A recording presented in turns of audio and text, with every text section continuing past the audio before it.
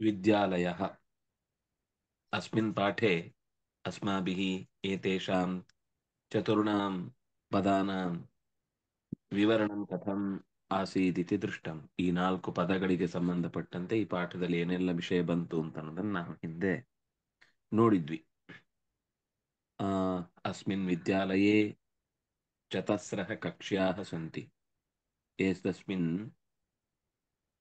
ಶಾಲಾಯಾಂ ಏತಸ್ಯಾಂ ಶಾಲಾಯಾಂ ಚತಸ್ರಃ ಕಕ್ಷ್ಯಾः ಸಂತಿ ನಾಲ್ಕು ತರಗತಿಗಳು ಇವೆ. ಏತೆ ಸಪ್ತ ಚತುರ್ಥ ಕಕ್ಷ್ಯಾಯಾಂ ಪಠಂತಿ. ಈ ಏಳು ಜನ ನಾಲ್ಕನೆಯ ತರಗತಿಯಲ್ಲಿ ಓದುತ್ತಿದ್ದಾರೆ. ಚಿತ್ರಂ ಪಠ್ಯ, ಚಿತ್ರವನ್ನು ನೋಡು. ಏಕೋ ಬಾಲಕ ತಿಷ್ಠತಿ, ಒಬ್ಬ ನಿಂತಿದ್ದಾನೆ. ಅನ್ಯ ಉಪವಿಷ್ಟಾಹ, ಉಳಿದವರೆಲ್ಲ ಕೂತಿದ್ದಾರೆ. ತಿಷ್ಠನ್ ಬಾಲಕಃ ಉಪಾಧ್ಯಾಯಸ್ಯ ಪ್ರಶ್ನಾನಾಂ ಉತ್ತರಾಣಾಂ ಉತ್ತರಾಣಿ ಕಥಯತಿ. ನಿಂತಿರುವ ಹುಡುಗ ಅಧ್ಯಾಪಕರ ಪ್ರಶ್ನೆಗಳನ್ನು ಉತ್ತರಿಸುತ್ತಾ ಇದ್ದಾನೆ. ಪ್ರಶ್ನೆಗಳಿಗೆ ಉತ್ತರವನ್ನು ಹೇಳುತ್ತಿದ್ದಾನೆ. ನೀನು ಯಾವ ತರಗತಿಯಲ್ಲಿ ಓದುತ್ತಿ? ನಾನು ಮೂರನೆಯ ತರಗತಿಯಲ್ಲಿ ಓದುತ್ತೇನೆ. ಕತಿ ಛಾತ್ರ ತ್ವಯಾ ಸಹ ಪಠಂತಿ. ಎಷ್ಟು ಮಕ್ಕಳು ನಿನ್ನ ಜೊತೆಗೆ ಓದುತ್ತಾರೆ? ಮಯಾ ಸಹ ಚತ್ವಾರೋ ಬಾಲಕಾ ತಿಸ್ರಹ ಬಾಲಿಕಾಶ್ಚ ಪಠಂತಿ. ನನ್ನೊಡನೆ ನಾಲ್ಕು ಹುಡುಗರು, ಮೂರು ಹುಡುಗಿಯರು ಓದುತ್ತಿದ್ದಾರೆ. ಆಹತ್ಯ ವಯಂ ಅಷ್ಟೋ ಸಹಪಾಠಿನ ಸ್ಮಃ. ಒಟ್ಟು ಸೇರಿ ನಾವು ಎಂಟು ಜನ ಸಹಪಾಠಿಗಳು ಇದ್ದೇವೆ. ದ್ವಿತೀಯ ಕಕ್ಷಾಯಾಂ ದ್ವೇ ಬಾಲಕೆ ತ್ರಯ ಬಾಲಕಾಶ್ಚ ಪಠಂತಿ. ನಾಲ್ಕು, ಮೂರ್, ಎರಡನೆಯ ತರಗತಿಯಲ್ಲಿ ಎರಡು ಹುಡುಗಿ, ಎರಡು ಹುಡುಗಿಯರು, ಮೂರು ಹುಡುಗರು ಓದುತ್ತಿದ್ದಾರೆ. ಪ್ರಥಮ ಕಕ್ಷ್ಯಾಯಾಂ ಪಂಚಬಾಲಕಾ ಪಂಚಬಾಲಿಕಾಶ್ಚ ಸಂತಿ ಒಂದನೇ ತರಗತಿಯಲ್ಲಿ ಐದು ಜನ ಹುಡುಗರು, ಐದು ಜನ ಹುಡುಗಿಯರು ಇದ್ದಾರೆ. ಇಷ್ಟನ್ನು ನಾವು ನೋಡಿದ್ವಿ. ಅದರಲ್ಲಿ ಸಹ ತೃತೀಯ ಬಂದಾಗ ಹೇಗೆ ಪ್ರಯೋಗ ಆಗುತ್ತೆ ಆಹತ್ಯ ಸೇರಿಕೊಂಡು ಇದನ್ನು ನಾವು ತುಂಬ ಒಟ್ಟಿಗೆ ಬಳಸಬೇಕಾಗುತ್ತೆ. ಒಟ್ಟು ಸೇರಿ ಎಷ್ಟು? ಅಂದಾಗ ಆಹತ್ಯ ಒಟ್ಟು ಸೇರಿ. ಇನ್ನು ತ್ವಂ ಬಂದಾಗ ಪಠಸಿ, ಅಹಂ ಬಂದಾಗ ಪಠಾಮಿ. ಹುಡುಗರು ಅಂತ ಬಳಸುವಾಗ ಚತ್ವಾರ ಹುಡುಗಿಯರು ಬಳಸುವಾಗ ಚತಸ್ರ ತ್ರಯ ಹುಡುಗರು ಬಂದಾಗ ತಿಸ್ರ ಸ್ತ್ರೀಲಿಂಗದ ಪ್ರಯೋಗ ಮಾಡಿದಾಗ. ಎರಡು ಸ್ತ್ರೀ, ಪುಲ್ಲಿಂಗ ಮತ್ತು ಸ್ತ್ರೀಲಿಂಗದ ದ್ವೇ ಬಂದಾಗ, ದ್ವೇ ಬಾಲಕೆ, ಬಾಲಿಕೆ, ದ್ವೌ ಬಾಲಕೌ ಅಂತಾಗುತ್ತೆ. ಆಮೇಲೆ ಉಳಿದಂತೆ ಮುಂದಿನ ನಂಬರ್ಗಳು ಬಂದಾಗ ಸೇಮ್. ಪಂಚಬಾಲಿಕಾ ಪಂಚಬಾಲಿಕಾಶ್ಚ. ಐದರ ನಂತರ ಮತ್ತೆ ಸಪ್ತದಲ್ಲಿ ಸ್ತ್ರೀಲಿಂಗದ ಸಪ್ತ, ಚತುರ್ ಪುರು ಪುಲ್ಲಿಂಗದ ಸಪ್ತ ಅಂತ ಎರಡು ಬೇರೆ ವಿಭಾಗ ಇಲ್ಲ. ಮೊದಲ ನಾಲ್ಕರಲ್ಲಿ ಮಾತ್ರ ಸ್ತ್ರೀಲಿಂಗ ಪುಲ್ಲಿಂಗ ನಪುಂಸಕಲಿಂಗ ವ್ಯತ್ಯಾಸ ಇದೆ. ಅದನ್ನ ಇಲ್ಲಿ ಸ್ತ್ರೀಲಿಂಗ ಪುಲ್ಲಿಂಗದ ಮಾತ್ರ ವ್ಯತ್ಯಾಸ ಹೇಳಿದ್ರು ಹೊರತು, ಆ, ಉಳಿದದ್ದು ವ್ಯತ್ಯಾಸ ಹೇಳಲಿಲ್ಲ. ಯಾಕೆಂದ್ರೆ ನಪುಂಸಕಲಿಂಗದಲ್ಲಿ ಇಲ್ಲಿ ಪಾಠಕ್ಕೆ ಸಂಬಂಧಪಟ್ಟಂತೆ ವಿಷಯಗಳೇನು ಇರಲಿಲ್ಲ.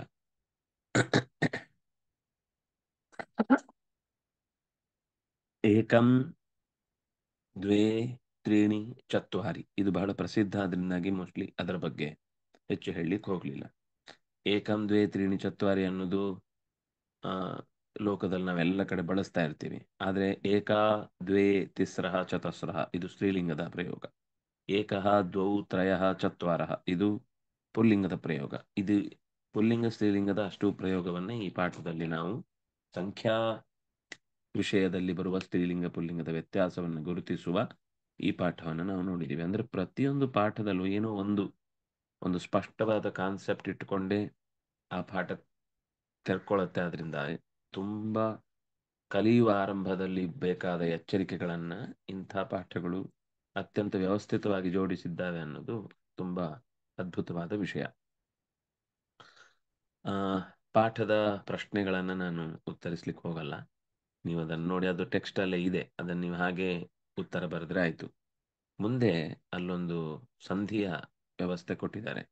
ಏಕಹ ಬಾಲಕ, ಆ, ಈ ಪ್ರಶ್ನೆಯನ್ನು ಬರ್ಕೋಬೇಕು ನೀವು. ಯಾಕೆಂದ್ರೆ ಅಲ್ಲಿ ಪ್ರಶ್ನೆಗಳನ್ನು ಕೇಳುವ ರೀತಿ ಗೊತ್ತಾಗುತ್ತೆ. ಈಗ ಪ್ರಶ್ನೆಯನ್ನು ಪ್ರಶ್ನೆಯಲ್ಲೂ ಕೂಡ ಸ್ತ್ರೀಲಿಂಗ ಪುಲ್ಲಿಂಗದ ವ್ಯತ್ಯಾಸ ಇರುತ್ತೆ ಪ್ರಶ್ನೆ ಕೇಳುವ ಪದಗಳಲ್ಲಿ. ಈಗ ಅಸ್ಮಿನ್ ವಿದ್ಯಾಲಯ ಕತಿ ಕಕ್ಷ್ಯಾ ಸಂತಿ ಅನ್ನೋದು ಕತಿ ಅನ್ನೋದು ಎಷ್ಟು ಅನ್ನುವ ಅರ್ಥದಲ್ಲಿ ಚತಸ್ರ ಕಕ್ಷ್ಯಾ ಸಂತಿ ಅಂತ ಬರಿತೀರಿ. ಏತೆ ಸಪ್ತ ಛಾತ್ರಾ ಕಸ್ಯಾಂ ಕಕ್ಷ್ಯಾಯಾಂ ಪಠಂತಿ ಕಸ್ಯಾಂ ಯಾವ? ಅದು ಕಕ್ಷ್ಯಾ ಅನ್ನೋದು ಸ್ತ್ರೀಲಿಂಗ ಆದ್ರಿಂದಾಗಿ ಪ್ರಶ್ನೆಯಲ್ಲೂ ಕಕ್ಷ್ಯ ಕಸ್ಯಾಂ ಕಕ್ಷ್ಯಾಯಾಮ್ ಅಂತ ಬಂತು. ಆ, ತಿಷ್ಠನ್ ಬಾಲಕ ಕಿಂ ಕರೋತಿ, ನಿಂತಿರೋ ಹುಡುಗ ಏನ್ ಮಾಡ್ತಾ ಇದ್ದಾನೆ? ಅವನು ಏನೋ ಪ್ರಶ್ನೆ ಕೇಳ್ತಾ ಇದ್ದಾನೆ ಅಂತ ಬಂತು. ತೃತೀಯ ಕಕ್ಷಾಯಂ ಕೆ ಕೆ ಪಠಂತಿ. ಮೂರನೆಯ ತರಗತಿಯಲ್ಲಿ ಯಾರ್ಯಾರು ಓದ್ತಾರೆ?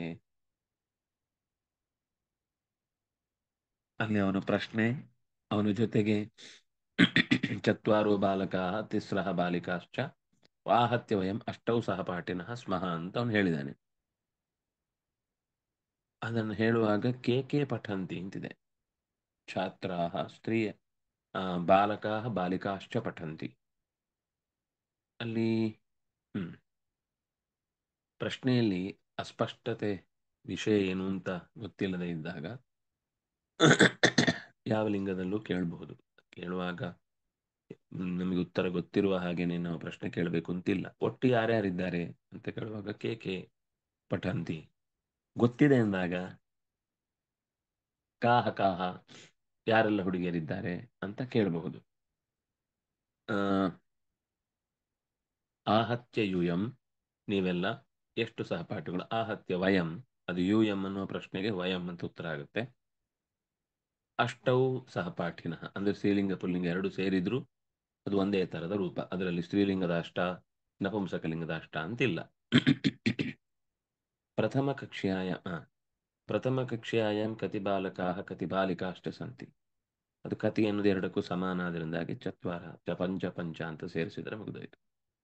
ಏಕಃ ಬಾಲಕಃ ಏ ಚತ್ವಾರಃ ಬಾಲಕಾಹ ತಿಸ್ರಃ ಬಾಲಿಕಾಃ ಮೂರು ಕಡೆ ವಿಸರ್ಗ ಇದೆ. ವಿಸರ್ಗದ ಪರದಲ್ಲಿ ಬ ಇದೆ. ವಿಸರ್ಗದ ಪರದಲ್ಲಿ ಸ ಶ ಶ ಸ ಈ ಅಕ್ಷರಗಳಿದ್ರೆ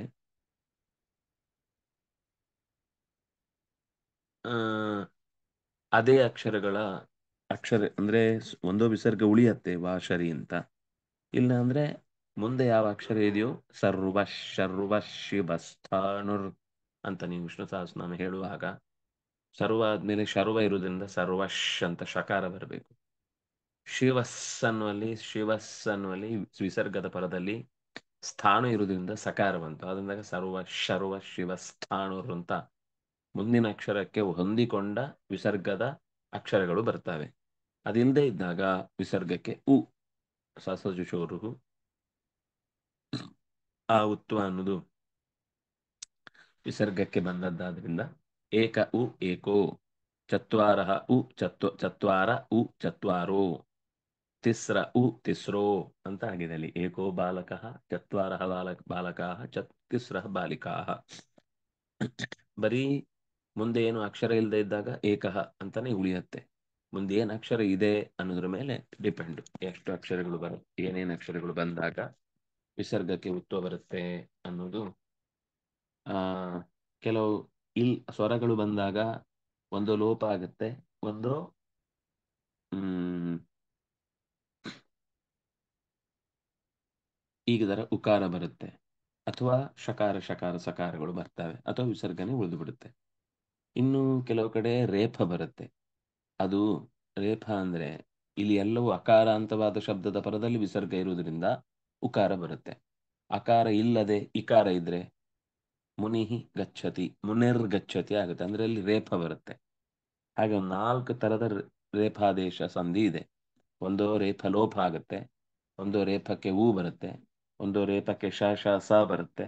ಒಂದು ರೇಪಕ್ಕೆ ರೇ ರೇಫ ಅಂದ್ರೆ ಸಾರಿ ವಿಸರ್ಗಕ್ಕೆ ರೇಪ ಬರುತ್ತೆ. ವಿಸರ್ಗಕ್ಕೆ ಲೇಪ್ ಲೋಪ ವಿಸರ್ಗಕ್ಕೆ ರೇಪ ವಿಸರ್ಗಕ್ಕೆ ಆ ಆ, ಶ ಶ ಲೇ ರ- ಆ, ರೇಫ ಲೋಪ ಉಕಾರ ಮತ್ತು ಶಾಶಾಸಗಳು. ಹೀಗೆ ನಾಲ್ಕು ಕ್ರಮದಲ್ಲಿ ಬರುವಂಥದ್ದಿರುತ್ತೆ ಮುಂದೆ ಕಿಮ್ ಅನ್ನೋ ಪ್ರಶ್ನೆಯನ್ನ ಸೇರಿಸಬೇಕು ಅಂತಿದೆ. ಏತತ್ ಅಂತಿದೆ. ಅದು ನಪುಂಸಕಲಿಂಗ ಆದ್ರಿಂದಾಗಿ ಏತತ್ ಕಿಮ್ ಅಂತ ಕಿಮ್ ಏತತ್ ಅಂತ ಕೇಳಬೇಕಾಗತ್ತೆ. ಅಯಂ ಅಂತಿದೆ, ಅದು ಪುಲ್ಲಿಂಗ. ಅದರಿಂದ ಕಹ ಅಯಂ ಅಂತ ಕೇಳಬೇಕಾಗುತ್ತೆ. ಇಯಂ ಅಂತಿದೆ, ಕಾ ಇಯಂ ಅಂತ ಕೇಳಬೇಕಾಗುತ್ತೆ. ಇದಂ ಡ್ಯಾಶ್ ಶ್ಲೋಕಂ ಪಠಸಿ. ತ್ವಂ ತ್ವಂ, ಸಾರಿ, ನಾನು ಇದಂ ಅಂತ ಓದ್ದೆ. ತ್ವಂ, ಇದಂ ಶ್ಲೋಕಂ ಪಠಸಿ, ಈ ಶ್ಲೋಕ ಓದ್ತೀಯ? ಇದಂ ಡ್ಯಾಶ್ ಬಾಲಕಸ್ಯ ಪುಸ್ತಕಂ. ಇದಂ ಕಸ್ಯ ಬಾಲಕಸ್ಯ ಪುಸ್ತಕಂ. ತ್ವಂ ಡ್ಯಾಶ್ ಗ್ರಾಮೇ ವಸಸಿ. ತ್ವಂ, ಅದು ಗ್ರಾಮೇ ಅಂತ ಸಪ್ತಮಿ ಇರುವುದರಿಂದ, ಹಿಂದೆ ಬಾಲಕಸ್ಯ ಅಂತ ಷಷ್ಠಿ ಇರುವುದರಿಂದ ಕಸ್ಯ ಆಯಿತು. ಅಂತ ಪ್ರಶ್ನೆ ಕೇಳಬೇಕು ಅಂತ ಅವರು ಹಾಕಿದ್ದು. ಕಿಂ ಶಬ್ದದಿಂದ ರೂಪಿಸಿ ಅಂತ ಪದಗಳನ್ನ.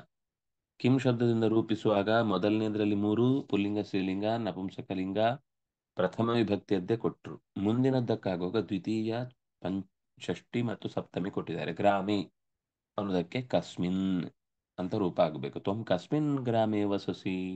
ನೀನು ಯಾವ ಊರಲ್ಲಿ ವಾಸ ಮಾಡ್ತಾ ಇದ್ದಿ ಅಂತ ಒಟ್ಟು ಕಿಂ ಶಬ್ದದ ಎಲ್ಲ ರೂಪಗಳು. ಕಹ ಕಿಂಕೆ ಕಿಂ ಕೆ, ಅದು ನಪುಂಸಕಲಿಂಗ ಆದರೆ ಕಿಂ ಕೆ ಕಾನಿ ಕಿಂ ಕೆ ಕಾನಿ, ಕೇನಕಾಭ್ಯಾಂ ಕೈ ಕಸ್ಮೈಕಾಭ್ಯಾಂ ಕೇಭ್ಯ ಕಸ್ಮಾತ್ ಕಾಭ್ಯಾಂ ಕೇಭ್ಯ ಕಸ್ಯ ಕಯೋಃ ಕೇಶಾಂ ಕಸ್ಮಿನ್ ಕಯೋಃ ಕೇಶು ಅದೇ ಪುಲ್ಲಿಂಗ ಆದರೆ ಕಹ ಕೌ ಕೇ ಕಂ ಕೌಕಾನ್ ಕೇನಕಾಭ್ಯಾಂ ಕೈ ಕಸ್ಮೈಕಾಭ್ಯಾಂ ಕೇಭ್ಯ ಕಸ್ಮಾತ್ ಕಾಭ್ಯಾಂ ಕೇಭ್ಯ ಕಸ್ಯ ಕಯೋಃ ಕೇಶಾಂ ಕಸ್ಮಿನ್ ಕಯೋಃ ಕೇಶು ಸ್ತ್ರೀಲಿಂಗದಲ್ಲಾದರೆ ಕಾಕೆ ಕಾಹ್ ಕಾಂಕೆ ಕಾಹ್ ಕಯಾ ಕಾಭ್ಯಾಂ ಕಾಭಿ ಕಸ್ಯೈ ಕಾಭ್ಯಾಂ ಕಾಭ್ಯ ಕಸ್ಮಾತ್ ಕಸ್ಯಾಹ ಕಾಭ್ಯಾಂ ಕಾಭ್ಯ ಕಸ್ಯಾಹ ಕಯೋಃ ಕಾಸಾಂ ಕಸ್ಯಾಂ ಕಯೋಃ ಕಾಸು ಅಂತ ಹೀಗೆ ಇಷ್ಟು ರೂಪಗಳು ಒಂಚೂರು ಗೊತ್ತಿದ್ರೆ ಪ್ರಶ್ನೆ ಸುಲಭದಲ್ಲಿ ಅರ್ಥ ಆಗುತ್ತೆ. ಅಂದ್ರೆ ಸ್ತ್ರೀಲಿಂಗನೋ, ಪುಲ್ಲಿಂಗನೋ ಏನ್ ಹೇಳ್ತಾ ಇದ್ದಾರೆ, ಯಾಕೆ ಬಂತು ಅನ್ನೋ ಮಾತು ಗೊತ್ತಾಗುತ್ತೆ. ಅಂದ್ರೆ ಗ್ರೋಸರಿ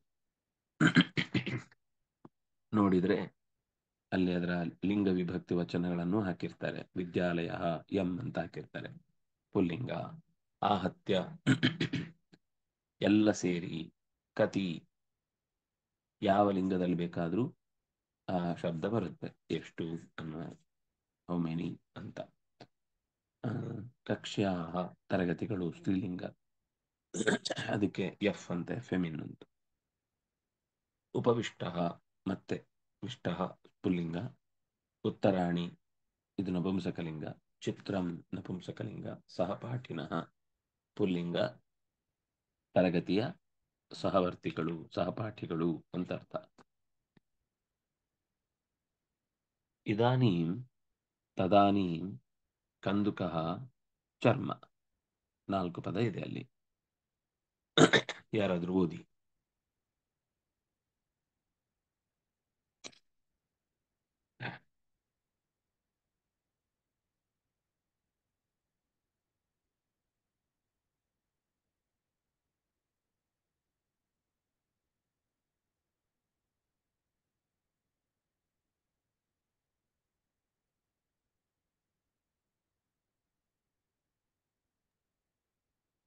इदानीं सायाह्नः पश्य अस्मिन् किङ्किणे षट् बालकाः कन्दुकेन। क्रीडन्ति हम्म। अस्मिन् क्रीडाङ्गणे षट् बालकाः कन्दुकेन क्रीडन्ति कन्दुकः चर्मणा निर्मितः वातेन पूरितश्च अतः अतः स ताड्यमानः उत्पतति ಇದಾನೀಂ ಅನ್ನೋದು ಈಗ ಅನ್ನೋ ಅರ್ಥದಲ್ಲಿ ನಾವು ಪ್ರಯೋಗ ಮಾಡ್ತೇವೆ ಈಗ ಎಷ್ಟೊತ್ತಾಯ್ತು ಈಗ ಎಷ್ಟು ಜನ ಇದ್ದಾರೆ ಈಗ ಎಲ್ಲಿಂದ ಬಂದ್ವಿ ಅಂತೆಲ್ಲ ಕೇಳುವಾಗ ಇದಾನೀಂ ಇದಾನೀಂ ತ್ವಂ ಕುತ್ರ ಗಚ್ಚಸಿ ಇದಾನೀಂ ಮಮ ಸಮೀಪೆ ಚತ್ವಾರः ಏವ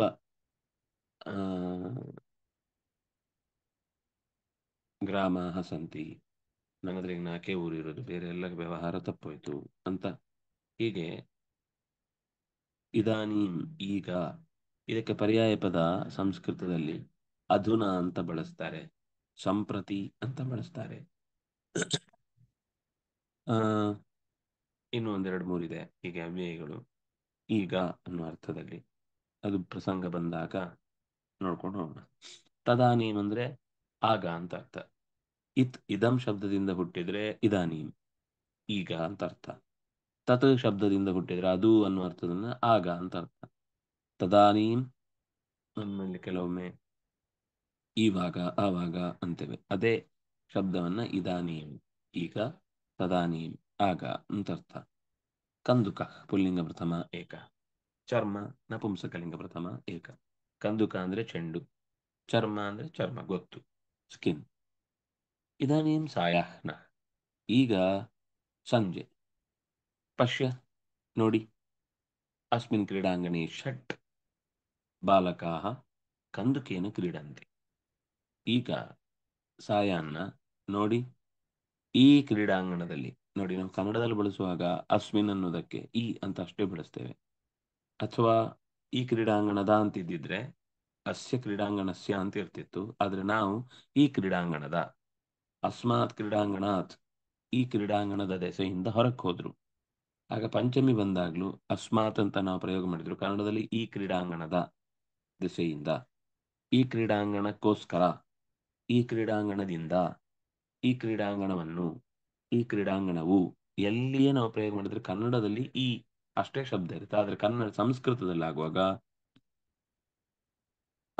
ಇದಂ ಕ್ರೀಡಾಂಗಣಂ ಇದಂ ಕ್ರೀಡಾಂಗಣಂ, ಅನೇನ ಕ್ರೀಡಾಂಗಣೇನ, ಅಸ್ ಅಸ್ಮೈ ಕ್ರೀಡಾಂಗಣಾಯ, ಅಸ್ಮಾತ್ ಕ್ರೀಡಾಂಗಣಾತ್, ಅಸ್ಯ ಕ್ರೀಡಾಂಗಣಸ್ಯ, ಅಸ್ಮಿನ್ ಕ್ರೀಡಾಂಗಣೆ ಅಂತ ಅದಕ್ಕೆ ತಕ್ಕ ವಿಭಕ್ತಿ ಬದಲಾಗ್ತಾ ಹೋಗುತ್ತೆ.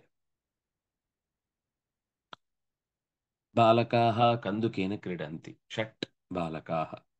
ಆರು ಹುಡುಗರು ಕಂದುಕೇನ ಚೆಂಡಿನೊಂದಿಗೆ ಕ್ರೀಡಂತಿ ಆಡುತ್ತಿದ್ದಾರೆ. ಷಟ್ ಬಾಲಕಾಹ ಪುಲ್ಲಿಂಗದಲ್ಲಿ. ಷಟ್ ಬಾಲಿಕಾಹ ಇದ್ರೂ ಕೂಡ ಷಟ್ ಅನ್ನೋದ್ರಲ್ಲಿ ಏನು ವಿಸ, ಏನು ರೂಪ ವ್ಯತ್ಯಾಸ ಆಗ್ತಿರ್ಲಿಲ್ಲ. ಯಾಕಂದ್ರೆ ಷಟ್ ಅನ್ನೋದು ಪಂಚದ ನಂತರ ಯಾವುದೇ ಸಂಖ್ಯೆ ಬಂದಾಗ್ಲೂ ಅದು ಸ್ತ್ರೀಲಿಂಗ ಪುಲ್ಲಿಂಗ ನಪುಂಸ ಸಮಾನ ಇರುತ್ತೆ.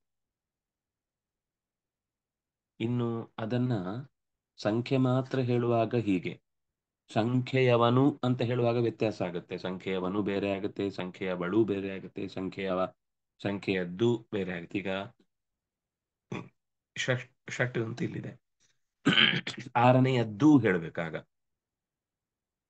ಆಗ. ಷಷ್ಠ ಅಂತ ಹೇಳ್ಬೇಕು ಪುಲ್ಲಿಂಗ್ ಆದ್ರೆ. ಆರನೆಯ ಹುಡುಗ. ಆರು ಹುಡುಗರಿದ್ದಾರಲ್ಲ? ಹುಡುಗರಿದ್ದಾರಲ್ಲ? ಅದು ಷಷ್ಠಮಃ ಅಲ್ಲ. ಕೆಲವರು ಹಾಗೆ ತುಂಬಾ ಅಷ್ಟಮಃ ಹಿಂಸಪ್ತಮಃ ಪಂಚಮಃ ನೋಡಿ ಮಧ್ಯದ್ದೊಂದು ಇದಕ್ಕೊಂದು ಮಹ ಸೇರಿಸಿದ್ರೆ ಏನ್ ತಪ್ಪು ಅಂತ ಷಷ್ಠಮಃ ಅಂತ ಸೇರಿಸ್ತಾರೆ.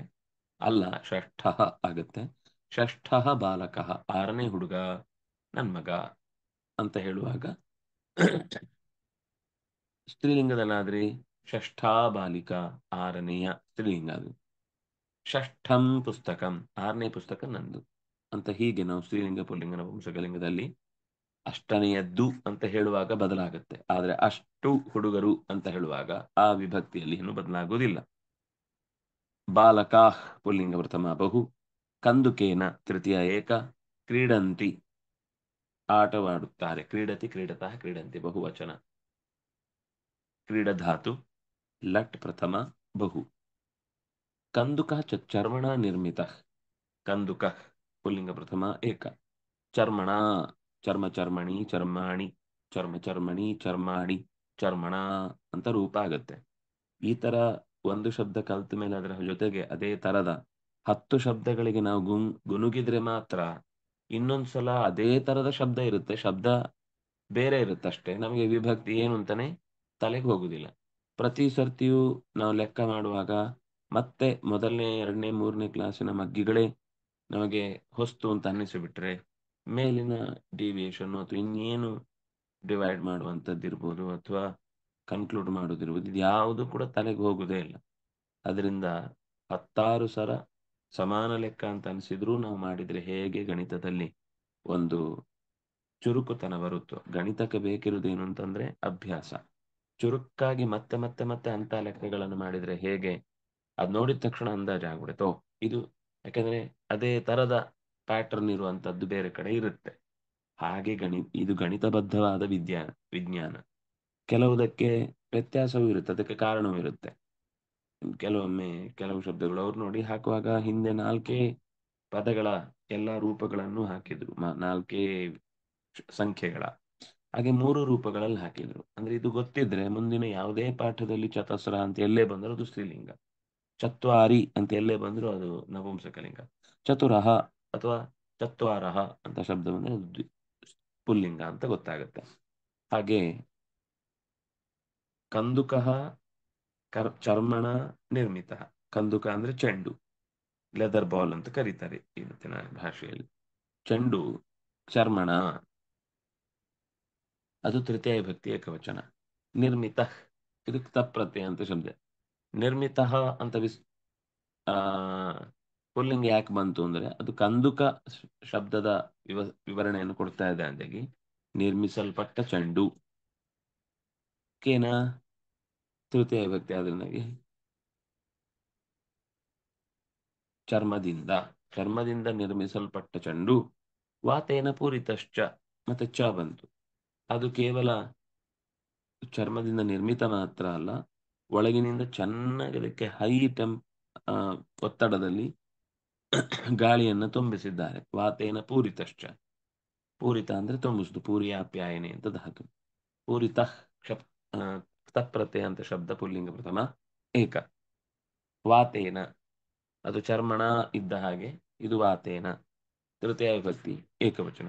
ಇಲ್ಲಿ ಕೆಲವೊಂದು ಸರ್ತಿ ಏನಾಗುತ್ತೆ ಅಂದ್ರೆ ನಮಗೆ ಪುಲ್ಲಿಂಗನೋ, ಸ್ತ್ರೀಲಿಂಗನೋ, ನಪುಂಸಕಲಿಂಗನೋ ಇದು ಈ ವಿಷಯದಲ್ಲಿ ಮಾತ್ರ ಡೌಟು ನಿರಂತರ ಬರ್ತಾನೆ ಇರುತ್ತೆ. ಅದು ಉಳದೇ ಬಿಡುತ್ತೆ. ಉಳಿದೇ ಬಿಡುತ್ತೆ ಯಾಕೆಂದ್ರೆ ನಮ್ಮ ಅಭ್ಯಾಸ ಕಮ್ಮಿ ಆದ್ರೆ ಮಾತ್ರ. ಅಭ್ಯಾಸ ಸರಿ ಇದ್ರೆ ಈಗ ಚರ್ಮಣ ಅದರಲ್ಲಿ ಒಂದು ಟ್ರಿಕ್ ಇದೆ. ಗೊತ್ತಾಗುತ್ತೆ. ಚರ್ಮ ಶಬ್ದ ಬಂತು ಹಿಂದೆ. ಚರ್ಮಣ ಅಂತ ಈಗ ಬರ್ತಾ ಇದೆ. ಪುಲ್ಲಿಂಗ್ ಆಗಿದ್ರೆ ಚರ್ಮೇಣ ಆಗ್ತಿತ್ತು. ಅದು ಚರ್ಮ ಅಕಾರ ಅಂತ ತರ ಕಾಣಿಸ್ತಿದೆ. ಆದ್ರೆ ಅದು ಅಕಾರ ಅಂತ ಅಲ್ಲ, ನಕಾರ ಅಂತ. ಚರ್ಮ ಚರ್ಮಣಿ, ಚರ್ಮಾಣಿ. ಬರೀ ಚರ್ಮ ಅಂತ ಶಬ್ದ ಇರುವುದೇ ಇಲ್ಲ ಪುಲ್ಲಿಂಗದಲ್ಲಿ. ಚರ್ಮ ಅಂತ ಇರಬೇಕು. ಆದ್ರೆ ಇದು ಚರ್ಮ ಶಬ್ದ ಅಲ್ಲ. ಚರ್ಮ ಚರ್ಮಣಿ ಚರ್ಮಾಣಿ, ಚರ್ಮ ಚರ್ಮಣಿ ಚರ್ಮಾಣಿ, ಚರ್ಮಣ ಅಂತ ತೃತೀಯ ವಿಭಕ್ತಿ ಅಂತ ಗೊತ್ತಾಯ್ತು. ಆದ್ರೆ ವಾತೇನ ಮಾತ್ರ, ಅದು ವಾತಃ ಅಂತ ಗೊತ್ತಿದ್ರೆ ಮಾತ್ರ, ಅಂದ್ರೆ ಇದು ಒಂದ್ಸಲ ಆದ್ರೂ ಕಿವಿಗೆ ಬಿದ್ದು ಕೇಳಿ ಗೊತ್ತಿರ್ಬೇಕು. ವಾತಂ ಅಂತ ಬಿಡಿಸಿದ್ರು ವಾತೇನ ಅಂತಾನೆ ಆಗುತ್ತೆ. ಅಂದ್ರೆ ನಪುಂಸ್ ನಪುಂಸಕಲಿಂಗದಲ್ಲೂ ಅದನ್ನ ಪ್ರಯೋಗ ಮಾಡಿದ್ರೆ ಅಕಸ್ಮಾತ್. ಪ್ರಯೋಗ ಇಲ್ಲ, ಮಾಡಿದ್ರೆ ಆಗ್ಲೂ ವಾತೇನ ಅಂತ ರೂಪ ಆಗುತ್ತೆ. ಅದರಿಂದಾಗಿ ಅಂತ ಸಂದರ್ಭದಲ್ಲಿ ಪದಗಳು ಕೇಳಿ ಕೇಳಿ ಕೇಳಿ ಕೇಳಿ ಬರಬೇಕು. ಅಂದ್ರೆ ನಾವು ಪೂರ್ವದಲ್ಲಿ ನಾನು ಯಾಕೆ ನಿಮಗೆ ನೆನ್ಪಿಟ್ಕೊಳ್ಬೇಕು? ತುಂಬಾ ವಿಷಯಗಳನ್ನ ಹಿಂದೆ ಬಂದ ರೂಪಗಳ ವಿಷಯದಲ್ಲಿ ಟ್ರಿಕ್ಸ್ ಅದು ಆಮೇಲೆ. ನಿಮ್ಗೆ ನೆನಪು ಜಾಸ್ತಿ ಆದ ಹಾಗೆ ಮತ್ತೆ ನೆನಪು ಬೇಕಾಗುದಿಲ್ಲ ಟ್ರಿಕ್ಸ್ ಸಾಕಾಗುತ್ತೆ. ನೆನಪು ಬರುವ ತನಕ ನಿಮ್ಗೆ ಆ ಟ್ರಿಕ್ಸೇ ನೆನಪಿರಬೇಕಾಗುತ್ತೆ.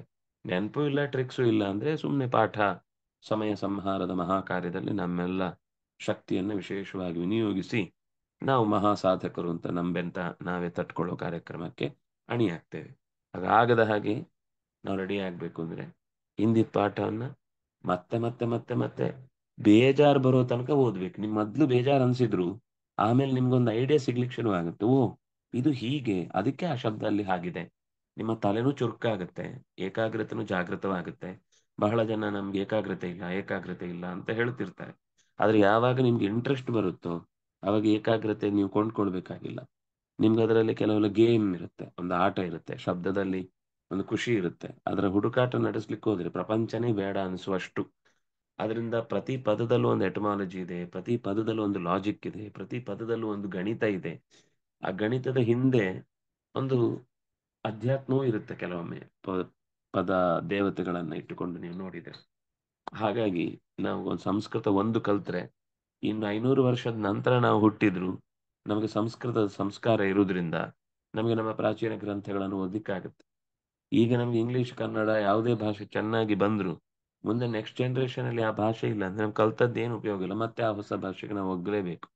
ನಮಗೆ ಡೌಟ್ ಬರುತ್ತೆ. ಇದು ಎಲ್ಲೋ ತರ ಕೇಳ್ದಂಗಿದೆ, ಆದ್ರೆ ಇದು ನಾವು ಕಲ್ತ ಭಾಷೆ ತರ ಇಲ್ಲ ಅಂತ ಇಂಗ್ಲಿಷೇ ಇನ್ನೇನಾಗಿರುತ್ತೋ ಗೊತ್ತಿಲ್ಲ ನೂರು ವರ್ಷ ಆದ್ಮೇಲೆ. ಅದನ್ನ ಸಂಸ್ಕೃತ ಚೆನ್ನಾಗಿ ಕಲ್ತ್ರೆ ನಾವಿನ್ನೊಂದು ಸಾವಿರ ವರ್ಷ, ಹತ್ತು ಸಾವಿರ ವರ್ಷ ಎಷ್ಟೇ ಜೀವನಾದ್ಯಂತ ಮತ್ತೆ ಮತ್ತೆ ಹುಟ್ಟಿ ಬಂದ್ರು, ಅದಕ್ಕೆ ಬೇಕಿರುವಂತಹ ಪೂರ್ಣ ಸಿದ್ಧತೆಯನ್ನ ಸಂಸ್ಕೃತ ಕಲೀಲಿಕ್ಕೆ ಅವಕಾಶ ಸಿಕ್ಕಿದಾಗಲೆಲ್ಲ ಅಭ್ಯಾಸ ಮಾಡಬೇಕು ಅನ್ನೋದು ಒಟ್ಟು ತಾತ್ಪರ್ಯ. ಕ್ರೀಡಂತಿ, ಕ್ರೀಡತಿ ಕ್ರೀಡತಃ ಕ್ರೀಡಂತಿ, ಹಿಂದೆ ಗಚ್ಚತಿ ಗಚ್ಚತಃ ಗಚ್ಚಂತಿ, ಪಠನ್, ಪಠತಿ ಪಠತಃ ಪಠಂತಿ ಅನ್ನೋ ತರ ಬಂತು. ಅದನ್ನ ಗೆಸ್ ಮಾಡ್ಬೇಕು ಮುಂದೆ. ಪಠಂತಿ ಇದ್ದ ಹಾಗೆ ಕ್ರೀಡಂತಿ, ಅಂತಿ ಅಂತ ಬಂತು ಆದ್ರಿಂದಾಗಿ ಅದ್ರ ಲಟ್ ಪ್ರಥಮ ಏಕ. ಸಾರಿ ಬಹು. ಲಟ್ ಪ್ರಥಮ ಬಹು. ಕಂದಕ, ಕಂದುಕ ಚರ್ಮಣ ನಿರ್ಮಿತ ವಾತೇನ ಪೂರಿತಶ್ಚ ಆದ್ಮೇಲೆ, ಪೂರಿತಶ್ಚ ಅಂತ ಒಂದು ಚ ಬಂತು ಯಾಕೆ ಅಂದ್ರೆ, ಒಂದು ವಿಷಯ ಹೇಳಿ ಆಯ್ತು. ಇದು ಚರ್ಮದಿಂದ ನಿರ್ಮಿತವಾದದ್ದು. ಅಷ್ಟೇ ಅಲ್ಲ, ಇದು ಗಾಳಿಯಿಂದ ತುಂಬಿದ್ದು ಕೂಡ, ಆ ಕೂಡ ಅಂತ ಬಂತಲ್ಲ, ವಾತೇನ ಪೂರಿತಶ್ಚ. ವಾತದಿಂದ ಕೂಡಿದೆ ಕೂಡ ತುಂಬಿದೆ ಕೂಡ. ಆ ಕೂಡ ಅನ್ನೋದನ್ನ ಚ ಅನ್ನೋ ಶಬ್ದ ಹೇಳ್ತಾ ಇದೆ. ಇದು ಎಲ್ಲ ಕಡೆಯೂ ಚ ಶಬ್ದ ತುಂಬಾ ಅರ್ಥಗಳಲ್ಲಿ ಬರುತ್ತೆ.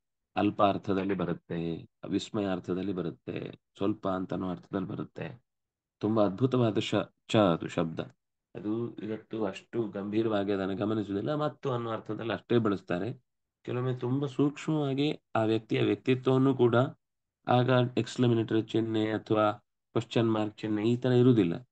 ಆಗ ಅದನ್ನು ಓದಿದಾಗಲೇ ಗೊತ್ತಾಗ್ಬಿಡುತ್ತೆ, ಈ ಸಮಸ್ಯೆಗೆ ಈ ತರದ ಸಾಲ್ವ್ ಅನ್ನ ಮಾಡ್ಕೊಳ್ಬೇಕಾಗತ್ತೆ ಅಂತ. ಅತಃ ಸಹ ತಾಡ್ಯಮಾನ ಉತ್ಪತತಿ. ಸಹ ಅಂದ್ರೆ ಇಲ್ಲಿ ಕಂದುಕ ಅಂತ ಅರ್ಥ. ಅಥ ಸಹ. ಆದ್ದರಿಂದ ಆ ಚೆಂಡು ಪುಲ್ಲಿಂಗದಲ್ಲಿ ಅದು ಕಂದುಕ ಶಬ್ದ ಆದ್ರಿಂದಾಗಿ ನಾವು ಕನ್ನಡದಲ್ಲಿ ಅದನ್ನ ಸಹ ಅಂದ್ರೆ ಏನ್ರಿ ಚೆಂಡು ಅನ್ನುವನು ಅನ್ನೋ ತರ ಪುಲ್ಲಿಂಗದ ಪ್ರಯೋಗ ಇದೆಯಲ್ಲ ಅಂದ್ರೆ ಅದು ಭಾಷೆಯಲ್ಲಿ ಅದಕ್ಕಿರುವಂತಹ ಈಗದ ಸ್ಟೇಟಸ್ ನೋಡಿ ನಾವು ಕನ್ನಡದಲ್ಲಿ ಸ್ತ್ರೀಲಿಂಗ ಪುಲ್ಲಿಂಗ ನಪುಂಸಕಲಿಂಗ ಹೇಳ್ತೇವೆ. ಆ ಅರ್ಥದಲ್ಲಿ ಇಲ್ಲ. ಜೀವಂತ ಇದ್ದು ಅದರಲ್ಲಿ ಹೆಣ್ಣಾಗಿದ್ರೆ ಅದು ಸ್ತ್ರೀಲಿಂಗದ ಪದ. ಜೀವಂತ ಇದ್ದು ಗಂಡಾಗಿದ್ರೆ ಅದು ಪುಲ್ಲಿಂಗದ ಪದ. ಜೀವಂತ ಇದ್ರೂ ಕೆಲವೊಂದು ಸರ್ತಿ ಪುಂಸಕಲಿಂಗ ಬರುತ್ತೆ. ಮಿತ್ರಂ ಕಳತ್ರಂ ಇದ್ದಲ್ಲಿ. ಅದು ಬಿಟ್ಟು ಸಾಮಾನ್ಯ ಉಳಿದ ಪದಗಳಲ್ಲಿ ಸ್ತ್ರೀಲಿಂಗ ಪುಲ್ಲಿಂಗ ನಪುಂಸಕಲಿಂಗ ಮೂರು ಇದೆ. ಹೆಚ್ಚು ಕಮ್ಮಿ ನಮಗೆ ಗೆಡ್ಡೆ, ಗಣಸು ಇತ್ಯಾದಿ ಎಲ್ಲ ಕೆಡುದು ಸಿಗುವುದು ಪರ್ವತಗಳ ಬುಡದಲ್ಲಿ ಅಥವಾ, ಆ ಕಾಡಿನ ಮಧ್ಯದಲ್ಲಿ. ಅದರಿಂದಾಗಿ ತಾಡ್ಯಮಾನ ಸಹ ಅನ್ನುವ ಶಬ್ದವನ್ನು ನಾವು ಪ್ರಯೋಗ ಮಾಡುವಾಗ ಅದು ಕಂದುಕಹ ಅನ್ನೋದು ಪುಲ್ಲಿಂಗ ಆದ್ರಿಂದ ಅಥವಾ ಇನ್ಯಾವುದಾದ್ರೂ ಸ್ತ್ರೀಲಿಂಗದ ಪುಲ್ಲಿಂಗದ ಬೇರೆ ಶಬ್ದಗಳನ್ನ ಬಳಸಿದ್ರೂ ನಮಗೆ ಇಲ್ಲಿ ವ್ಯತ್ಯಾಸ ಪಕ್ಕ ಕಂಡುಹಿಡಿಯುವುದು ಗೊತ್ತಾಗುದಿಲ್ಲ. ಅಂದ್ರೆ ಪುಲ್ಲಿಂಗ ನಪುಂಸಕಲಿಂಗ ವ್ಯ- ವ್ಯತ್ಯಾಸ. ಮತ್ತೆ ಅದನ್ನು ಅನುವಾದ ಮಾಡುವಾಗ ನಾವು ನಪುಂಸಕಲಿಂಗ ಅನು- ಅನುವಾದ ಮಾಡ್ತೇವೆ. ಅದು ಗೊತ್ತಿಲ್ಲದೆ ಕನ್ನಡದಲ್ಲಿ ತಿಳ್ಕೊಂಡು ಸಂಸ್ಕೃತದಲ್ಲಿ ವಾಕ್ಯ ಪ್ರಯೋಗ ಮಾಡಿದ್ರು.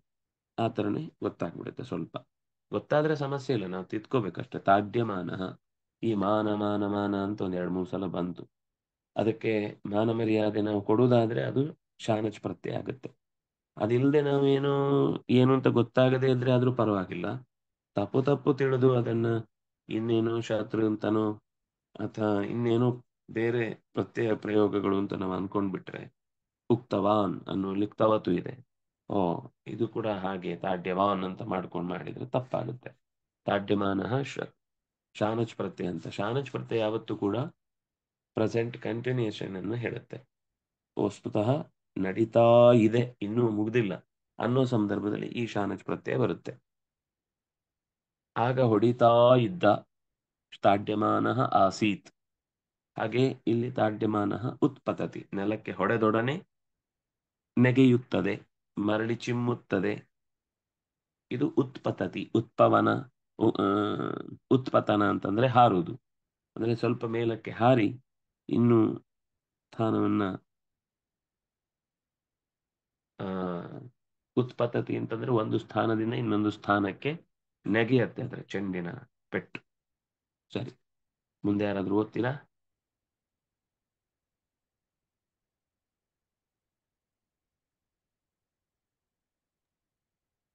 ते बालकाः इतस्ततो धावन्तः हस्तेन पादेन च कन्दुकं ताडयन्ति ಆ ಹುಡುಗರು ಇತಸ್ತತಃ ಏನರ್ಥ ಇಲ್ಲಿಂದಲ್ಲಿಗೆ ಇತ್ತಿಂದತ್ತ ಅತ್ತಂದಿತ್ತ ಇಲ್ಲಿಂದ ಅಲ್ಲಿಗೆ ಇತಃ ಈ ಜಾಗದಿಂದ ತತಃ ಆ ಜಾಗಕ್ಕೆ ಹ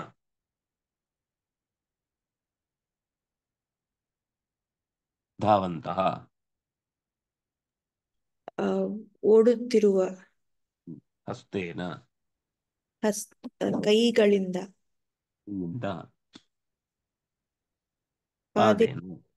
ಕಾಲುಗಳಿಂದ. ಕಾಲಿಂದ. ಒಂದೇ ಅದು.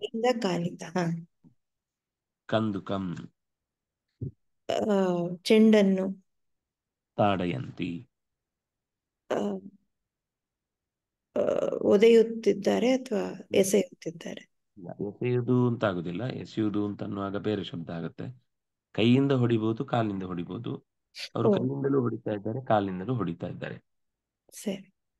ಒದೆಯುವುದು ಅನ್ನೋದು ಕಾಲಿಗೆ ನಾವು ಮಾತ್ರ ಹೇಳ್ತೇವೆ.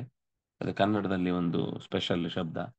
ಸಂಸ್ಕೃತದಲ್ಲಿ ತಾಡೆಯಂತಿ ಅಂತ ಅಷ್ಟೇ ಹೇಳಬೇಕಾಗ್ತದೆ ಒದೆಯುವುದು ಅಂತ ಒಂದು ಆ ನೇರ ಪದವನ್ನು ಬಳಸಲಿಕ್ಕೆ ನಮಗೆ ಬಳಕೆಯಲ್ಲಿ ಇಲ್ಲ ಅನ್ಸುತ್ತೆ. ನೋಡೋಣ ಮುಂದೆ ಎಲ್ಲಾದ್ರೂ ಬಂದ್ರು ಬರ್ಬೋದು. ಆದ್ರೆ ಸಾಮಾನ್ಯ ಪ್ರಯೋಗದಲ್ಲಿ ಒದೆಯುವುದು ಅಂತ ಅನ್ನೋದಕ್ಕೆ ಪ್ರತ್ಯೇಕ ಶಬ್ದ ಇಲ್ಲ. ಹೊಡೆಯುವುದು ಬೇರೆ, ಒದೆಯುವುದು ಬೇರೆ. ಇಲ್ಲಿ ತಾಡೆಯಂತಿ ಎರಡೂ ಅದೇ ಶಬ್ದದ ರೂಪದಲ್ಲಿ ಇದೆ ಹಸ್ತೇನ ಪಾದೇನ ಚ, ಕೈಯಿಂದ ಕಾಲಿನಿಂದಲೂ ಕೂಡ. ಬಾಲಕಾಹ, ಆ ಬಾಲಕರು, ತೇ, ಆ ಅದುತ್ಸಾಹತೌ ತೇ. ಪುಲ್ಲಿಂಗ ಪ್ರಥಮ ಬಹು ಬಾಲಕಾ ಪುಲ್ಲಿಂಗ ಪ್ರಥಮ ಬಹು ಇತಸ್ತತಃ ಅವ್ಯಯ ಇತಃ ತತಃ ಇತಸ್ತತಃ ಇತ್ತಿಂದತ್ತ ಈಚೆ ಆಚೆ ಆಚೆ ಈಚೆ ಹೇಗಾದ್ರೂ ಬಳಸೋಣ. ಸಂಸ್ಕೃತದಲ್ಲಿ ಎರಡು ತರ ಇಲ್ಲ. ಆಚೆ ಈಚೆ ಈಚೆ ಈಚೆ ಆಚೆ ಬಳಸುವುದಿಲ್ಲ ಕನ್ನಡದಲ್ಲಿ. ಆಚೆ ಈಚೆನೆ ಬಳಸುದು ಆದರೆ ಸಂಸ್ಕೃತದಲ್ಲಿ ಈಚೆ ಆಚೆನೆ ಬಳಸುದು ಆಚೆ ಈಚೆ ಬಳಸುವ ಕ್ರಮ ಇಲ್ಲ. ಧಾವಂತಹ ಧಾವನ್ ಧಾವಂತೌ ಧಾವಂತಹ ಶತ್ರು ಪ್ರತ್ಯಯ ಅಂತ ಶಬ್ದ ತೇ ಅಂತ ಇತ್ತಾದ್ರಿಂದ ಅದಕ್ಕೆ ಸಂಬಂಧಪಟ್ಟ ಹಾಗೆ ಓಡುತ್ತಿರುವ ಹುಡುಗರು ಅದಕ್ಕೆ ವಿಶೇಷಣವಾಗಿ ಬಂತು ಪ್ರಥಮ ವಿಭಕ್ತಿ ಬಹುವಚನ ಧಾವಂತಹ ಹಸ್ತೇನ ಪಾದೇನ ಎರಡು ಕೂಡ ತೃತೀಯ ವಿಭಕ್ತಿ ಏಕವಚನ ಚ ಅವ್ಯಯ. ಕಂದುಕಂ ದ್ವಿತೀಯ ವಿಭಕ್ತಿ ಏಕವಚನ ಪುಲ್ಲಿಂಗ. ಕಂದುಕಃ ಆಯಿತು, ಕಂದುಕಂ ಆಯಿತು. ಕಂದುಕಂ ತಾಡಯಂತಿ, ಒದೆಯುತ್ತಾರೆ. ತಾಡಯತಿ, ತಾಡಯತಃ, ತಾಡಯಂತಿ.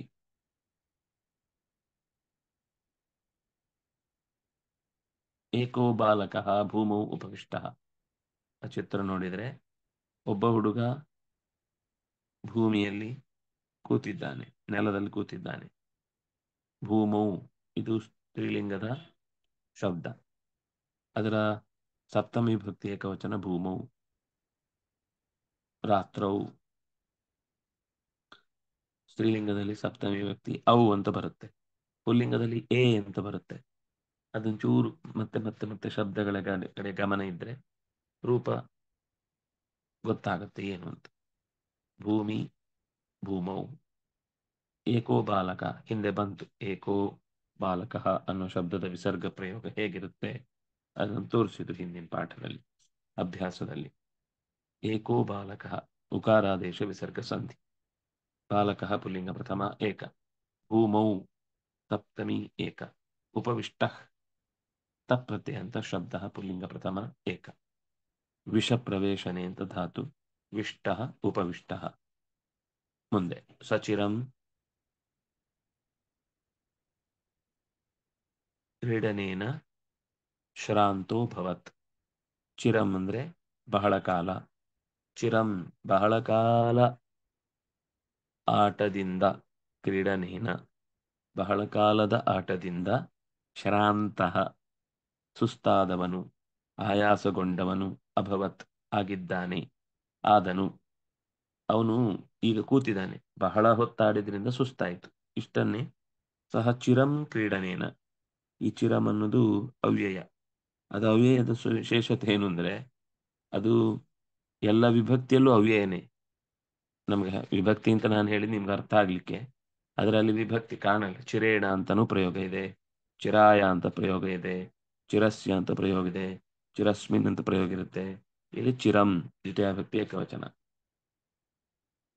ಕಾಣುವುದು ಹಾಗೆ. ಅದರ ದ್ವಿತೀಯ ಭಕ್ತಿ ಅಲ್ಲ. ಕಾಣುವುದು ಹಾಗೆ ಇರುತ್ತೆ. ಯಾಕಂದ್ರೆ ಅದು ಎಲ್ಲವೂ ಅವ್ಯಯನೆ. ಇದು ಪದಗಳು, ಪ್ರತ್ಯೇಕ ಪ್ರತ್ಯೇಕ ಪದಗಳು. ಅದು ಚಿರಂ, ಚಿರೆ, ಚಿರಾಣಿ ಅಂತ ನಡೆಸ್ಲಿಕ್ಕೆ ಬರಲ್ಲ.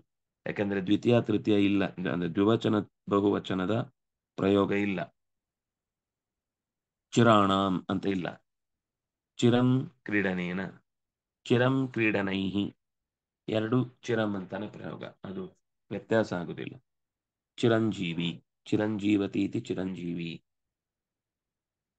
ಬಹಳ ಹೊತ್ತು ಬದುಕ್ತಾನೆ ಅಂತ ಅಷ್ಟೇ ಅರ್ಥ ಹೊರತು ಸಾಯಲ್ಲ ಅಂತ ಅರ್ಥ ಅಲ್ಲ. ನಮಗೆ ಚಿರಂಜೀವ ಅನ್ನೋ ಶಬ್ದ ಪ್ರಯೋಗ ಮಾಡಿದ್ಮೇಲೆ ಅಯ್ಯೋ, ಅವ್ನು ಸಾಯಬಾರ್ದು ಅಂತ. ಅಲ್ಲಿ ಸಾಯಬಾರ್ದು ಅನ್ನೋ ಅರ್ಥ ಇಲ್ವೇ ಇಲ್ಲ. ಸತ್ತೇ ಸಾಯ್ಬೇಕು. ಜಾತಸೆ ಎದುರುವ ಮೃತ್ಯು ಅಂತ ಒಂದು ಕಡೆ ಪ ಇಷ್ಟು ಉದ್ದದ ಲೈನ್ ಅನ್ನ ಹೇಳಿ. ಆಮೇಲೆ ಚಿರಂಜೀವ ಅಂದ್ರೆ ಸಾಯಲ್ಲ ಅಂದ್ರೆ ಶಾಸ್ತ್ರದ ಮಾತಿಗೆ ಬದ್ಧ ವಿರುದ್ಧ ಅಲ್ವಾ? ಚಿರಂಜೀವ ಅಂದ್ರೆ ನಾವು ಬದುಕುವುದಕ್ಕಿಂತ ಬಹಳ ದೀರ್ಘಕಾಲ ಬದುಕ್ತಾರೆ ಅದರಿಂದ ಅವರನ್ನು ಬಹಳ ಕಾಲ ಬದುಕುವುದು ಅನ್ನೋ ಕಾರಣಕ್ಕೋಸ್ಕರ ಸಾಯಲ್ಲ ಅನ್ನುವ ನಾವು ಯಾರು ಸಾವು ಕಾಣಲ್ಲ, ಸಾವು ಇಲ್ಲ ಅಂತ ಅರ್ಥ ಅಲ್ಲ. ಸಾವು ನಮಗೆ ಕಣ್ಣಿಗೆ ಕಾಣಲ್ಲ ಅಂತ ಅಷ್ಟೇ ಅರ್ಥ. ಚಿರಂ. ಕ್ರೀಡನೇನ ತೃತೀಯ ಏಕ, ಶಾಂತಃ ಪುಲ್ಲಿಂಗ ಪ್ರಥಮ ಏಕ, ಅಭವತ್ ಲಂಗ್ ಪ್ರಥಮ ಏಕ. ಅಭವತ್, ಅಭವತಾಂ, ಅಭವನ್ ಹಿಂದೆ ಬಂದಿತ್ತು ಈ ಪಾಠ, ಈ ಅಭ್ಯಾಸದ ಪ್ರಯೋಗ. ಅಭವತ್ ಅಭವತಾಂ ಅಭವನ್ ಅಭವ ಅಭವತಂ ಅಭವತ ಅಭವಂ ಅಭವಾವ ಅಭವಾಮ ಅದು ಸೇರಿದಾಗ ಶಾಂತಃ ಅಭವತ್ ವಿಸರ್ಗ ವಿಸರ್ಗದ ಜೊತೆಗೆ ಅಕಾರ ಕೂಡಿಕೊಂಡಿತು। ಶಾಂತೋ ಅಭವತ್ ಅಂತ ರೂಪ ಆಯಿತು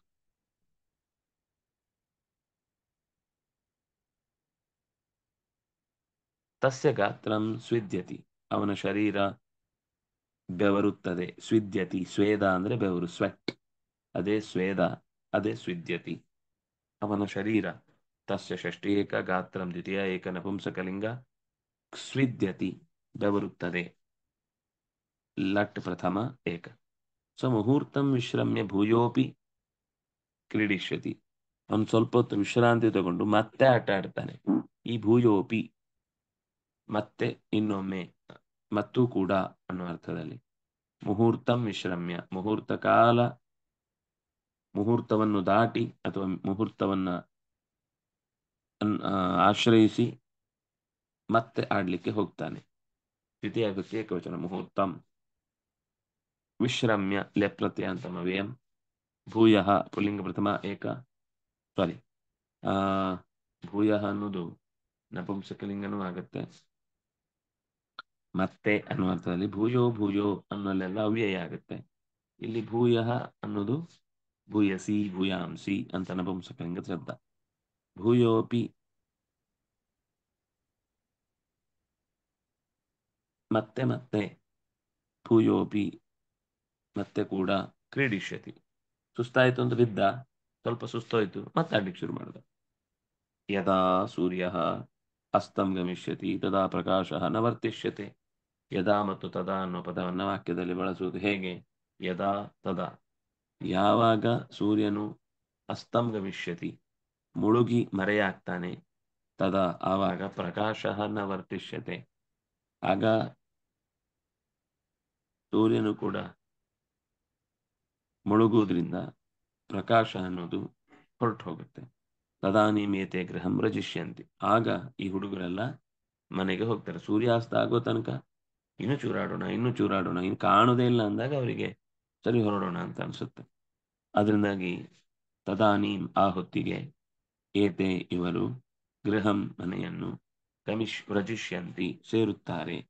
ಈ ವ್ರಜಿಷ್ಯಂತಿ ಶ್ಯ ಬಂತು ಆದ್ರಿಂದ ಲೃಟ್ ಪ್ರಯೋಗ ವ್ರಜಿಷ್ಯತಿ ವ್ರಜಿಷ್ಯತಃ ವ್ರಜಿಷ್ಯಂತಿ ಭವಿಷ್ಯತಿ, ಭವಿಷ್ಯತಃ, ಭವಿಷ್ಯಂತಿ ಇದ್ದ ಹಾಗೆ. ಯದಾ ತದಾ ಎರಡೂ ಕೂಡ ಅವ್ಯಯ. ಸೂರ್ಯ ಪುಲ್ಲಿಂಗ ಏಕ ಅಸ್ತಂ ಗಮಿಷ್ಯತಿ, ಅಸ್ತಂಗತೋ ಭವತಿ ಅಂತ ಅರ್ಥ ತದಾ ಅವ್ಯಯ ಅದು ಯದಾ ತದಾಕ್ಕೆ ಜೋಡಿ ಪದ ಅರ್ಥ ಮತ್ತೆ ಮುಂದೆ ಬರಬೇಕು. ಪ್ರಕಾಶ ನ ವರ್ತಿಷ್ಯತೆ, ಪ್ರಕಾಶ ಪುಲ್ಲಿಂಗ ಪ್ರಥಮ ಏಕ ನ ಅವ್ಯಯ ವರ್ತಿಷ್ಯತೆ.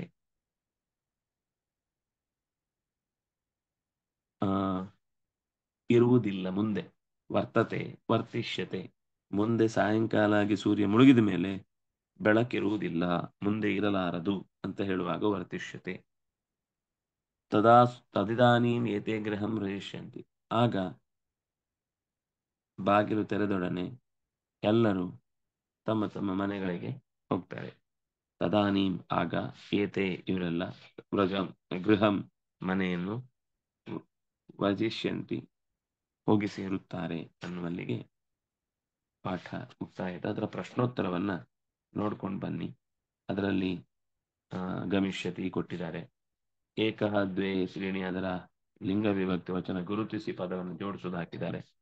ಅದರ ಜೊತೆಗೆ ಶತ್ರು ಪ್ರತ್ಯಂತವಾದ ಶಬ್ದಗಳನ್ನ ಒಂದೆರಡು ಅಭ್ಯಾಸ ಮಾಡಲಿಕ್ಕೆ ಕೊಟ್ಟಿದ್ದಾರೆ. ಪ್ರಶ್ನೋತ್ತರ ಅಂತೂ ಇದ್ದೇವೆ ಇಷ್ಟನ್ನ ನೋಡಿಕೊಂಡು ಮುಂದಿನ ತರಗತಿಗೆ ಸಿದ್ಧ ಆಗಿ ಬನ್ನಿ. ಶ್ರೀ ಹರಿಪ್ರಿಯತಾ.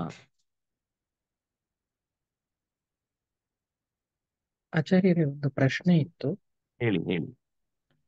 ಅಲ್ಲಿ ಆ, ವಿಶ್ರಮ್ಯ ಭೂಯೋಪಿ ಅಂತ ಆದ ನಂತರ ಒಂದು ಚಿಹ್ನೆ ಇದೆ. ಅದಕ್ಕೇನಾದ್ರೂ ಅರ್ಥ ಇದೆಯಾ? ಇಲ್ಲ ಇಲ್ಲಿ ಪಾಠದಲ್ಲಿ ಏನು ಅರ್ಥ ಇಲ್ಲ. ನಾನು ನೋಡುದು ಯಾಕೆ ಹಾಕಿದ್ದಾರೆ ಅಂತ. ಅದು ಯಾಕೆ ಬಂದಿದೆ ಅಂತ ಗೊತ್ತಾಗ್ತಿಲ್ಲ. ಹ್ಮ್ ಅಂದ್ರೆ ಅಲ್ಲಿ ಒಂದು ಸಂಧಿ ಇದೆ. ಸಂಧಿ ಅದು ಬಹುಶಃ ಮುಂದೆ ಎಲ್ಲೋ ಉತ್ತರ ಕೊಟ್ಟಿದ್ದಾರೆ ಅಂತ ಅನ್ಸುತ್ತೆ. ಸಂಧಿ ಭೂ ಶಾಂತೋ ಅಭವತ್ ಭೂಯೋಪಿ ಅನ್ನುವಲ್ಲೆಲ್ಲ ಮಧ್ಯೆ ಒಂದು ಎಸ್ ಹಾಕಿದ್ದಾರೆ. ಆ ಎಸ್ ಅಂದ್ರೆ ಅದು ಒಂದು ಸಂಧಿಯ ವಿಶೇಷವಾದ ಗುರುತು. ಅದು ಓಕಾರ ಏಕಾರಗಳ ನಂತರ ಆ ವಿಸರ್ಗ ಆ ಅವಗ್ರಹ ಚಿಹ್ನೆ ಇದೆ. ಅದಕ್ಕೆ ಅವಗ್ರಹ ಚಿಹ್ನೆ ಅಂತ ಹೇಳ್ತಾರೆ. ಅವಗ್ರಹ ಚಿಹ್ನೆ ಅಂದ್ರೆ ಅ ಅನ್ನುವ ಅಕ್ಷರ ಅಲ್ಲಿ ಗ್ರಹಿಸಲ್ಪಟ್ಟಿದೆ. ಶಾಂತೋ ಅಭವತ್, ಶಾಂತೋ ಭವತ್, ಭೂಯ ಅಪಿ, ಭೂಯೋ ಅಪಿ, ಭೂಯೋಪಿ. ಇದೆರಡನ್ನು ಪೂರ್ವರೂಪ ಸಂಧಿ ಅಂತ ಹೇಳ್ತಾರೆ. ಅದರ ವಿಶೇಷತೆ, ಆ ಚಿಹ್ನೆ ಕೊಟ್ಟದ್ರ ಮೇಲೆ ಯೋಚನೆ ಮಾಡಿದ್ರೆ ಏನು ಅಂತ ಗೊತ್ತಾಗ್ಲಿಲ್ಲ. ಆದ್ರೆ ಮೋಸ್ಟ್ಲಿ ಹೀಗಿರ್ಬೋದು ಅಂತ ನಾನು ಅನ್ಕೊಂಡೆ. ಮುಂದೆ ಎಲ್ಲೂ ಅದರ ಚಿಹ್ನೆ ಏನು ಇಲ್ಲ ಬಳಸಿದ್ದು. ಅದರಿಂದ ಬಹುಶಃ ಸ್- ಏನು ಸಂಧಿ ಇದೆ ಅಂತ ತೋರಿಸ್ಲಿಕ್ಕೆ ಆ ಪದವನ್ನು ಬಳಸದಾಗಿದೆ. ಧನ್ಯವಾದಗಳು. सर्वे भवन्तु सुखिनः सर्वे सन्तु निरामयाः सर्वे भद्राणि पश्यन्तु मा कश्चित् दुःखभाग् भवेत् ब्रह्मार्पणं ब्रह्महविः ब्रह्माग्नौ ब्रह्मणाहुतं ब्रह्मैव तेन गन्तव्यं ब्रह्मकर्मसमाधिना यत्र योगेश्वरः कृष्णो यत्र पार्थो धनुर्धरः तत्र श्रीविजयो भूतिर्ध्रुवानीतिर्मतिर्मम धर्मस्य विजयो भूयात् धर्मस्य पराभव सद्भावना प्राणभृतां भूयात् विश्वस्य मङ्गलं ಶ್ರೀಕೃಷ್ಣಾರ್ಪಣಮಸ್ತು ಎಲ್ಲರಿಗೂ ನಮಸ್ಕಾರ